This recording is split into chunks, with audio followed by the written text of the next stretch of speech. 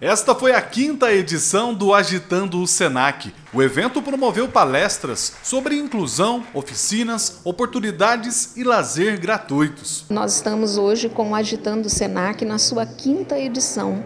O, o evento ele tem como objetivo trazer a comunidade para dentro do Senac. A gente observou há alguns anos que muitas pessoas, embora o Senac já esteja aqui neste prédio, né, na Rua Cerro Azul desde 1996, nós temos muitas pessoas que ainda não conhecem e às vezes pessoas que moram aqui na comunidade que não conseguem ainda perceber a quantidade de cursos, de ações que nós temos aqui dentro do Senac, que é para todas e todos. No evento que levou o tema Combatendo o Bullying com Ações de Inclusão e Diversidade, foram três turnos de atividades com palestras, oficinas e exposições feitas por alunos e docentes do SENAC. Esse tema abordado hoje, ele vem de encontro àquilo que é valor no SENAC, né? Então falar sobre esse tema, por que combater? Porque a educação, ela tem um papel fundamental para esse tipo, para a gente abrir um espaço de acolhimento saudável e que as pessoas possam falar de si,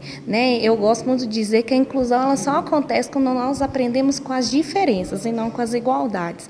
Então, assim, esse tema hoje vem de encontro ao valor do SENAC e sendo um tema muito relevante de combate ao bullying. A inclusão ligada à tecnologia, segurança, moda, marketing, turismo e saúde estão entre os assuntos trabalhados durante o evento. Nós temos aqui dentro do SENAC é, ações, no caso deste ano o tema inclusão e diversidade, mas nós trabalhamos com este tema em todas as áreas, na área de saúde, na área de segurança, turismo, hospitalidade, gestão, comércio, enfim, em todas as áreas. Também foram realizadas atividades em todos os laboratórios do SENAC, incluindo alunos do curso de técnico de enfermagem. É, a atuação do, do técnico em enfermagem, né, propriamente dita, a gente quer trazer né, para os outros alunos e para a população também, é, como é a atuação da enfermagem frente né, à atenção, ao cuidado né, com as pessoas de forma geral, incluindo a população trans.